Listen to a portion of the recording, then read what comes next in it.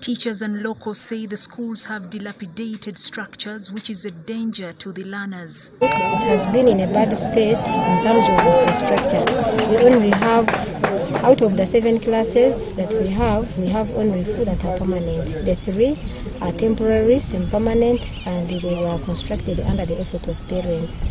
Uh, the life of the learners here, we are on the stake because when there is strong wind and maybe strong rainfall, sometimes those classes are not safe because they are not they don't have windows. So we make sure the learners shift to other classes, and of course the classes become congested and lessons are disrupted sometimes. Following their outcry, the government, with support from the World Bank, launched the construction of two primary schools that will cost 1.1 billion shillings.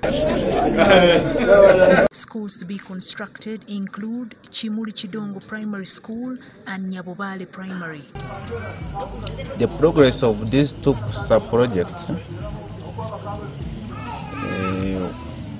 we are completing the substructures, meaning when you try to, to look at the start date and expected completion date, the contractor is doing the best and we hope is going to complete this project in time.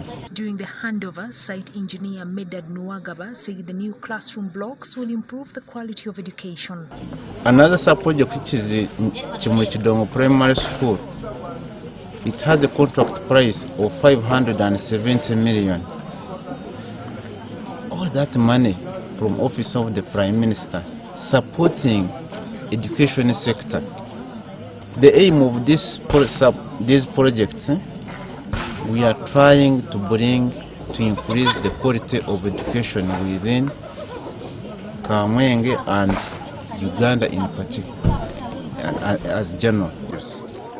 Under Dr. Deep project, we have launched Chimurichidongo Primary School, uh, which will be constructed at the tune of 571 million Ugandan shillings. We have also launched Nyabobare Primary School, which will be constructed at the tune of 581 million. Uh, those two schools are under DRDIP project, uh, under Office of the Prime Minister. Leaders also commissioned a 270 million shilling classroom block at Michindo Nyarweya Primary School. Kugira ngu kuyamba community yetu Report by Antonia Twine for the news.